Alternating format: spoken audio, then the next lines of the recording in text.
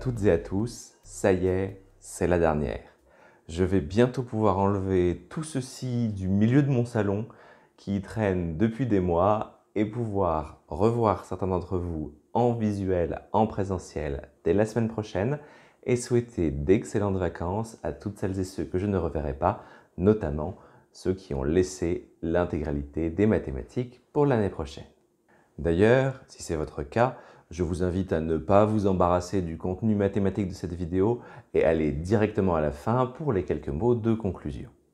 Pour tous les autres, notamment ceux qui suivent la spécialité, les mathématiques expertes en plus ou bien seulement, seulement les maths complémentaires, je vous invite à encore un petit peu de patience, d'effort et de rigueur et à passer en revue vraiment très rapidement ce dernier chapitre que nous allons faire ensemble, la géométrie repérée, sachant qu'il nous en resterait potentiellement un autre, les variables aléatoires, que nous ne ferons hélas pas, vraiment par choix assumé. Il n'est pas très difficile et la plupart des autres groupes ne l'ayant pas fait, vous aurez largement le temps ensemble de le rattraper avec vos professeurs de l'année prochaine. Aucune inquiétude à avoir, tout va bien se passer de ce côté-là. Concernant la géométrie repérée, puisque vous avez pu apercevoir à l'aide du cours de votre manuel ainsi que des exercices corrigés en face de chacune des propositions, ce qu'on pouvait bien attendre de vous, vous avez remarqué, et je vous l'avais dit dans le message, que nous avons déjà volontairement traité une large partie de ceci. Vous avez remarqué que dans la première partie, vecteur normal, j'avais intégré dans le produit scalaire la définition d'un vecteur normal à une droite ainsi que les critères d'orthogonalité, c'est-à-dire l'utilisation du produit scalaire. Et vous avez également remarqué que dans la deuxième partie, qui sont les équations de cercles qui sont nouvelles, mais également de paraboles, il y a quand même quelque chose que nous avons vu en début d'année sur le second degré. Les équations de paraboles, c'était plus euh, des rappels, notamment avec les coordonnées du sommet, qu'une vraie découverte pour vous, peut-être que les notions de démonstration étaient euh, légèrement nouvelles, tout le reste était vraiment des révisions. Ce chapitre est donc un peu un fourre-tout, un mélange d'une part de vecteurs normal à une droite, d'autre part d'équations cartésiennes de cercles et de paraboles. On n'a pas paqueté ça, on a mis ça avec un joli nom de géométrie repérée.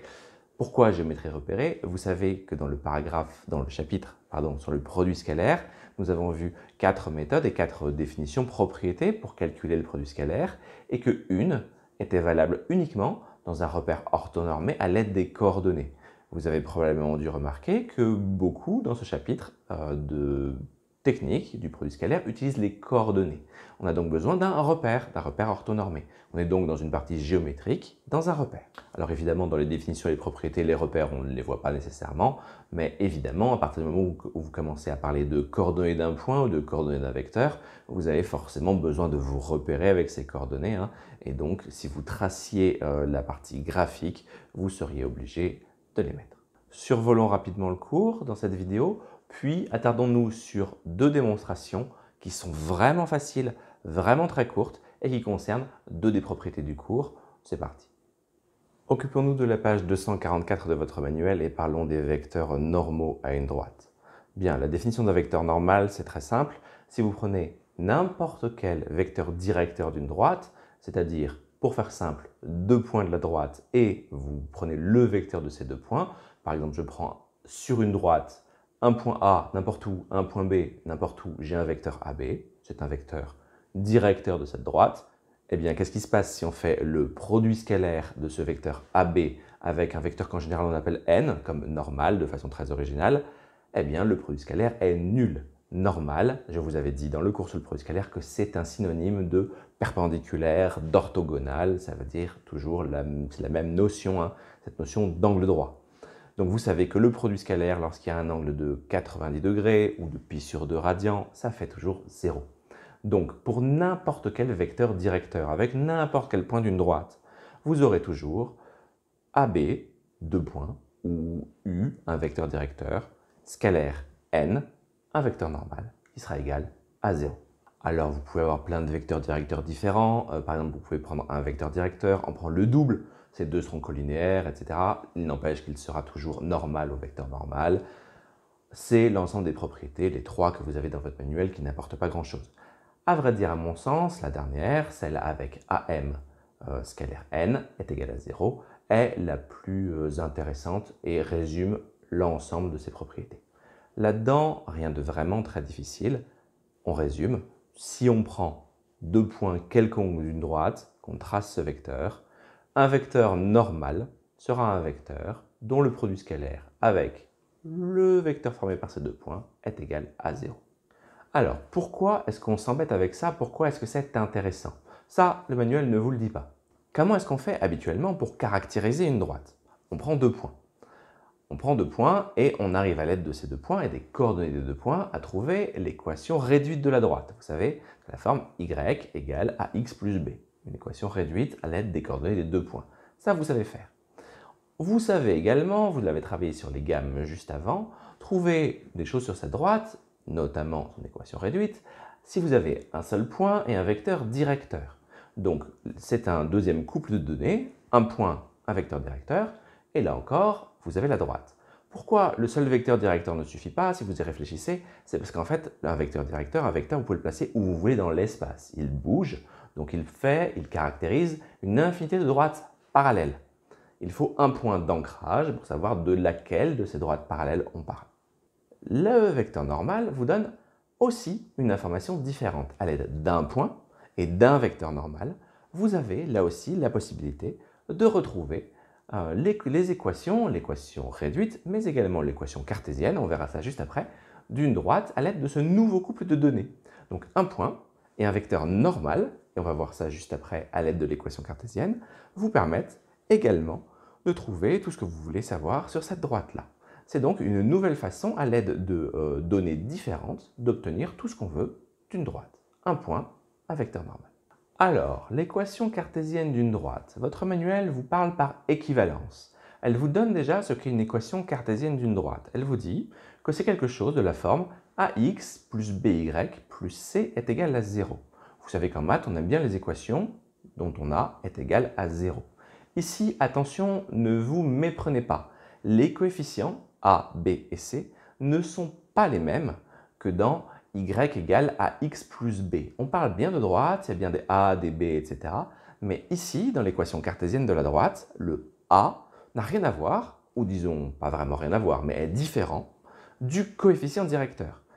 ax plus by c dans, égale à 0, dans cette équation, le a n'est pas le coefficient directeur. Le b n'est pas l'ordre de l'origine.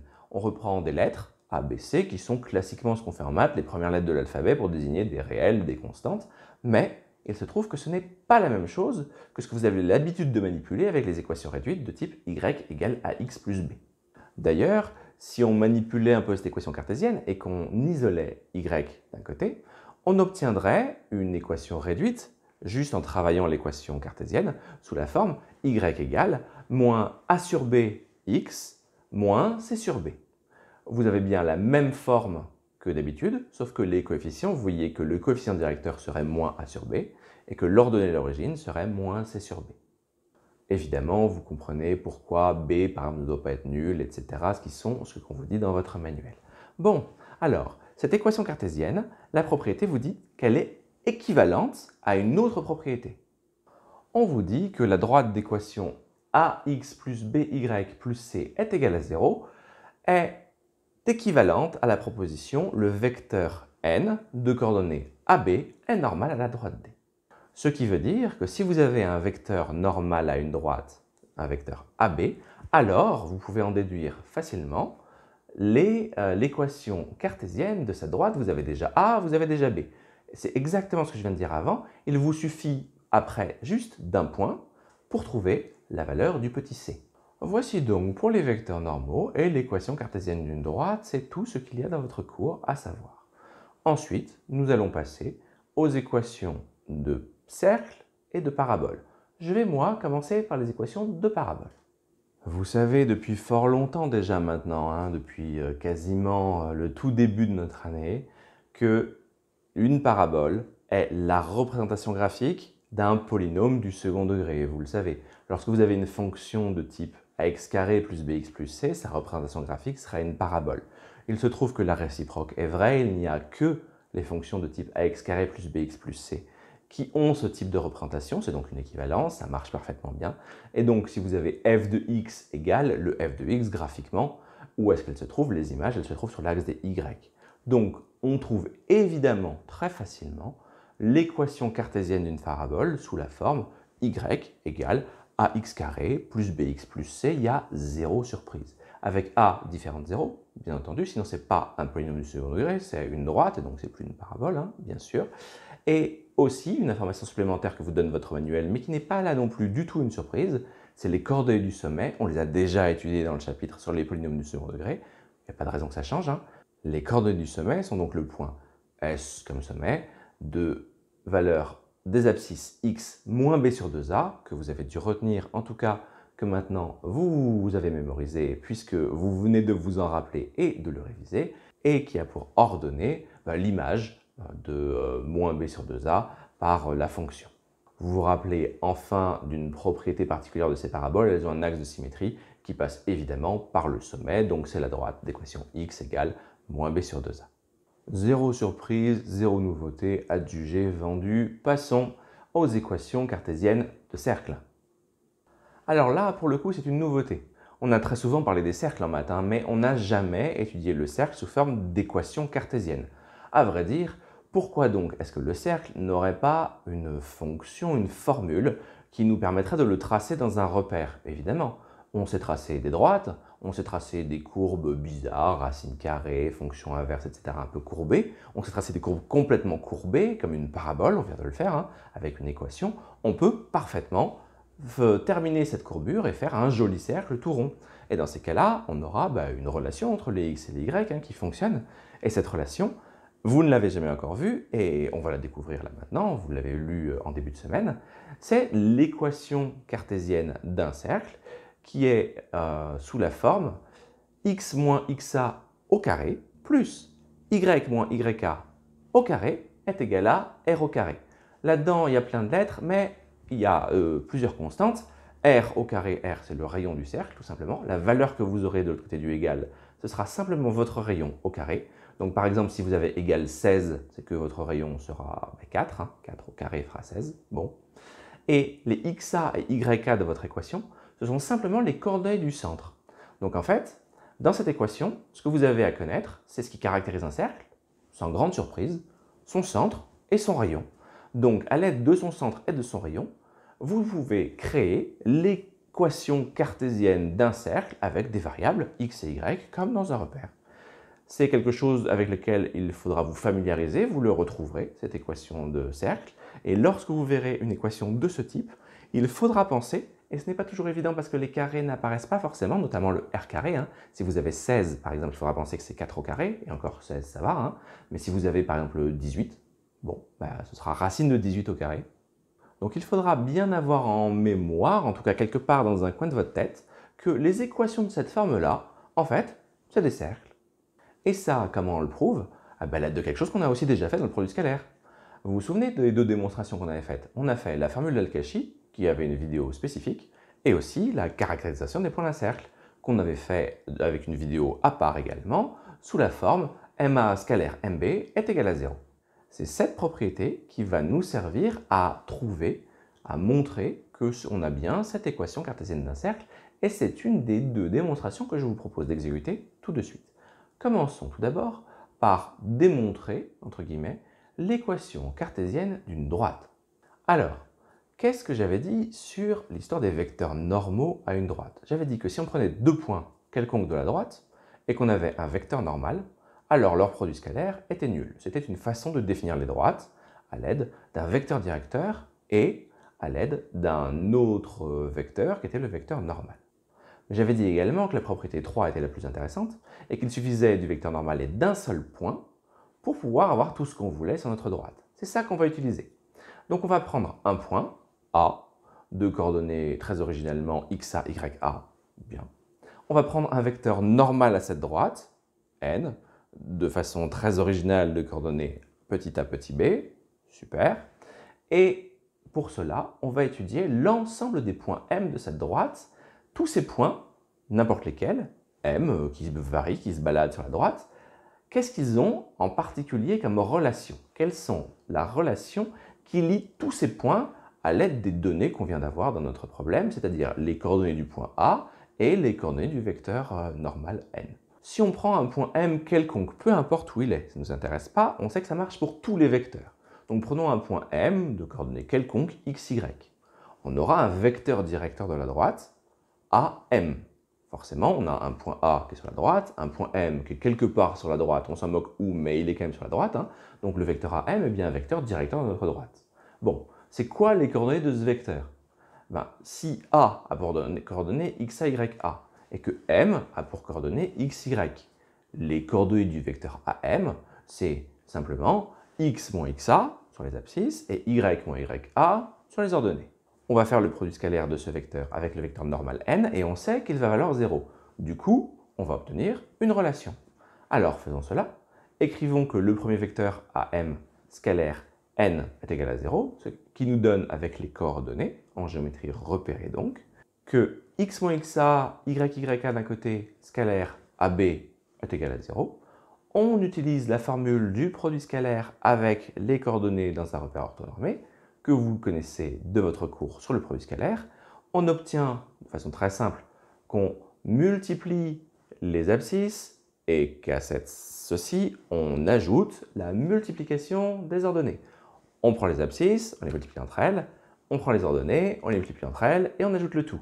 Ce qui nous donne a facteur de x moins xa plus b facteur de y moins ya, le tout qui vaut 0. Eh bien, on développe, et à la fin, très facilement, on obtient simplement ax plus by plus un truc qui clairement est une constante, qu'on va appeler c, et on obtient le tout égal à 0. C'est exactement une équation cartésienne de droite. On a en plus une information supplémentaire, l'expression de C en fonction de A et de B, ce qui n'est pas dans votre cours et qui n'est pas non plus particulièrement intéressant d'ailleurs. Mais ici, vous voyez, en réalité, qu'on a juste besoin de deux données, A et B, on s'en doutait, c'est ce qu'on avait dit, et XA et XB, et qu'en fait, C n'apparaît que comme une constante euh, pour faciliter l'écriture, mais qu'en réalité, ça dépend de A et de B. On a simplement besoin des coordonnées d'un point A, des coordonnées d'un vecteur normal n, et c'est tout, on obtient directement l'équation cartésienne du droite. On vient de prouver l'équivalence de ces deux choses. Cela prend exactement 4 lignes, repose uniquement sur le calcul du produit scalaire avec les coordonnées. Bref, c'est pas vraiment difficile. Si vous maîtrisez le produit scalaire, c'est même très simple. Passons maintenant à l'équation cartésienne d'un cercle. Alors là, c'est encore plus simple et il n'y a même pas besoin du produit scalaire. On va utiliser la question des normes des vecteurs. Alors, ça veut dire quoi Que un point M est sur un cercle de centre A et de rayon R? En termes de distance, ça veut dire quelque chose de très simple. Si on a un rayon R et que M est sur le cercle de centre A, ben AM est simplement un rayon du cercle. Donc la distance AM vaut la distance R. On commence par écrire ça. La distance AM, on ne sait pas trop combien c'est, alors pour le coup, on va avoir besoin des coordonnées. Là encore, la distance AM, c'est la norme du vecteur AM. Et le vecteur AM, avec les coordonnées du vecteur, on va pouvoir très facilement les trouver. Alors le vecteur AM, on va refaire la même chose, on va reprendre un point A de coordonnées xa, ya bien précis, et un point M quelconque qui bouge de coordonnées xy quelconque. Et à ce moment-là, les coordonnées du vecteur AM seront exactement pareil que tout à l'heure, x moins xa, y moins yk. Bien. La norme de ce vecteur, je vous le rappelle, c'est les abscisses au carré plus les ordonnées au carré. Le tout, racine carrée, c'est simplement un théorème de Pythagore en fait. Hein. Pour savoir la longueur de votre vecteur, c'est-à-dire la longueur en fait de l'hypoténuse, vous regardez de combien vous avez bougé sur les x et de combien vous avez bougé sur les y, qui sont les longueurs des deux autres côtés, qui sont évidemment perpendiculaires, puisque vous êtes en géométrie repérée dans un repère orthonormé. Donc les x et les y sont perpendiculaires, vous avez pile poil un Pythagore, en fait, un tout simple. Donc vous faites la racine de un côté au carré plus l'autre côté au carré. Vous pouvez aussi tout simplement apprendre les normes d'un vecteur et voir ça sous forme de vecteur. Vous vous apprenez par cœur la formule, ça marche tout aussi bien. Il se trouve que derrière, c'est Pythagore. Bien donc ceci, ce, ce, gros calcul vaut R. La racine, elle nous embête. Comment est-ce qu'on va enlever la racine? On passe tout à gauche et à droite au carré. Alors, est-ce qu'on garde l'équivalence? Oui, on garde l'équivalence. Parce que Lorsqu'on enlève la racine, on obtient donc que x moins xa au carré plus y moins ya au carré, le tout est égal à r au carré. Bien. Alors ça marche bien vers le bas, mais vers le haut, ça marche aussi, parce que vers le haut, lorsque vous passez à la racine, il y a deux possibilités, la, positive et la négative, mais on est sur des longueurs, des distances. Donc les distances ne peuvent pas être négatives ici. Hein. On parle d'un rayon, donc un rayon, il n'aura pas une valeur négative. Donc il n'y aura en fait qu'une des deux possibilités algébriques qui sera retenue. Vous savez que lorsque vous avez un carré et que vous passez à la valeur, il y a toujours euh, un nombre et son opposé qui fonctionne. Hein. Là, forcément, son opposé ne marchera pas, on ne peut pas avoir de valeur négative. Donc on conserve bien l'équivalence. Et puis c'est terminé. Si vous regardez ce qu'on obtient, on obtient directement l'équation cartésienne d'un cercle. On commence simplement par une phrase très simple de dire que m, puisqu'il est sur le cercle, il est à la distance d'un rayon du centre, hein, AM égale R. On prend les coordonnées, et à l'aide des coordonnées et des normes du vecteur, on fait simplement le remplacement dans la formule, on passe au carré, c'est terminé. Voici donc pour l'intégralité de ce qu'il y a dans ce chapitre. Alors vous voyez, pas beaucoup de nouveautés, des démonstrations qui, si vous les regardez en détail, reposent sur des choses qui finalement sont assez simples. Donc normalement, pour un chapitre de fin d'année, c'est plutôt pas mal. En plus, pour être honnête, ce n'est pas d'une utilité fondamentale. Évidemment, pour celles et ceux qui poursuivent les maths, ou éventuellement même la physique, hein, des équations d'ellipse ou les équations de cercle, par exemple pour la rotation des planètes, hein, Kepler, etc., ça peut être parfaitement pertinent. Mais pour celles et ceux d'entre vous qui se destinent à d'autres types d'études, j'ai bien indiqué que ce dernier chapitre était facultatif. Il est donc maintenant grand temps de nous quitter. Avant, quelques mots pour vous remercier déjà de l'attention et du courage que vous avez eu à supporter mes vidéos et à me suivre tout au long de l'année. J'ai bien conscience que les mathématiques cette année n'ont pas été toujours très simples. C'est une spécialité exigeante qui en début d'année vous a posé problème, mais nous l'avons vu collectivement, vous avez su, pour l'immense majorité d'entre vous, relever parfaitement le défi, avoir de très belles progressions, et je suis absolument ravi de l'ensemble des groupes et de leur évolution. Je suis certain que vous pourrez poursuivre, pour celles et ceux qui souhaitent continuer les maths l'année prochaine, en vous accrochant. Pour tous, cette année a été spéciale, pour vous comme pour nous, mais l'année prochaine le sera peut-être tout autant. Je compte donc sur votre sagesse, à savoir évidemment passer d'excellentes vacances, de faire un break, mais si possible, de vous remettre dans le bain un peu avant la rentrée. Je sais que la motivation, l'automotivation n'est pas nécessairement le fort de tout le monde. Il faudra pourtant vous y mettre. Et vous avez bien vu certaines surprises en cours d'année, beaucoup d'épreuves qui devaient avoir lieu et qui finalement se sont révélées être des notes de contrôle continu. Je crains, hélas, à titre personnel, que nous ne soyons pas complètement à l'abri de nouvelles surprises l'année prochaine.